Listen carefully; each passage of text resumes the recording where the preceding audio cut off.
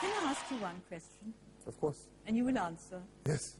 In uh, the World Cup, when Stuart Broad was bowling to you, Andrew Flintoff. Dad, I can't answer here. No, no, I want to find out. I just need to find out. And I want to show you that moment. And I need you to tell me. You see, he's coming up, he's saying something to you. Uh, Flintoff. See? Only Going on Reggie, if I was and on. Now that's That's huge. you That is are going hit. It's out of here. up towards him. The umpire is holding you back.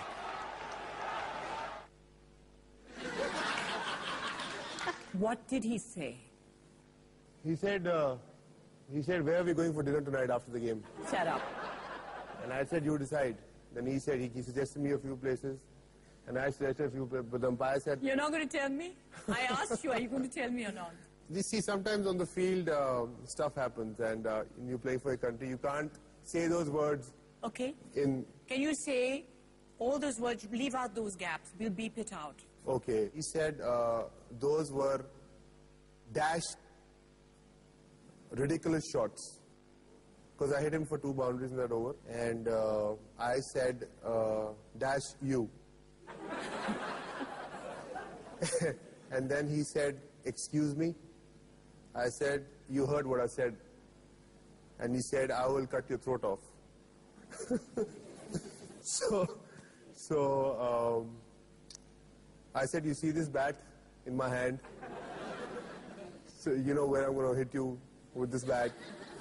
So it was, it was just, it was, it was, it was a fight. And that got you worked up, didn't it? It got me really worked up. I was really angry, and uh, I was, I just wanted to hit every ball out of the ground. That you know, I have to just give it back. And sometimes it's good for you, sometimes it backfires you. But on that day, I think it backfired them. It backfired them, and it was so good for you because just look what happened. One, That's huge. That is a biggie. It's out of here. two.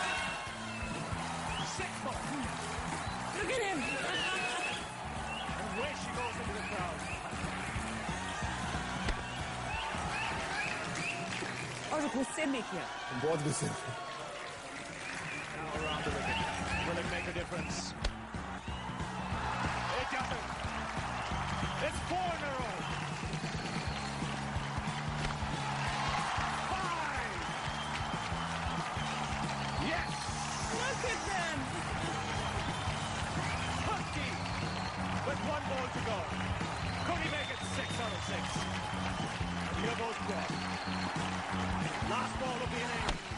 And he's put it away. But tell me, cricket is about sweat and slog and blackboards and statistics. Is there any room for prayer? Do you ever pray before or during a game? the most of the time because your heartbeat is so fast. You know, there are bowlers who are bowling 150 k's an hour, and some spinners are turning the ball really uh, far away. So you pray and you say, "Just God," you say whatever, whatever prayers, or say, "God, take of, take care of me inside there." So prayers are always there. I can imagine. But tell me, which bowler do you dread facing? Uh, Muralidharan was one bowler I hated to face because I couldn't understand which way the ball was going.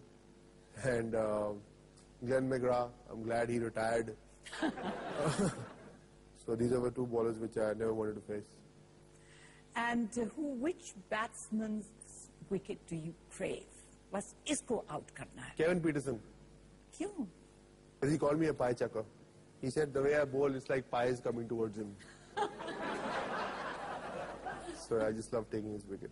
Have you got his wicket pretty often now yeah i've got him out six seven times. He hates getting out to me and uh, he doesn't like it. And every time they ask him that why do you get him get out to him all the time? He says he's he's he's not a good bowler. He's just a pie chucker. You know, what's not widely known is that actually, I mean, before skating and all happened, you acted in uh, two Punjabi films. Yes, I did, but I hope you don't have those clippings. No, I don't. Oh, thank God. How I wish I did. Oh. But uh, are you planning to make a comeback? Maybe when I retire, maybe I don't know. When you retire, will be very late then. yeah, I know I'll be late, but I can do a lot of makeup and, you know.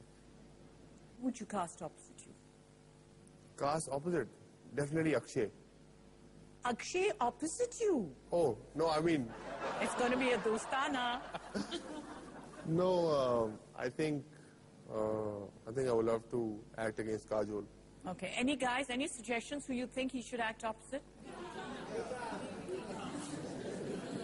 That's another story. In today's day and age, who do you think has redefined their status to become a symbol of desirability? One of my mates is Mr. Zaheer Khan. And uh, Virat Kohli is one of the youngsters who's doing really well. Yes. These two guys are stepping up the bar every time. And what about captaincy? Wouldn't you like to captain India? Yeah, it's, it's every cricketer's dream to be the captain of India. But at the moment, somebody's going, doing a really good job. So, but if it comes to me one day, definitely accept it. Well, I, we all hope that it will come to you, and I'm sure that it will come to you. Thank you very much. But nothing.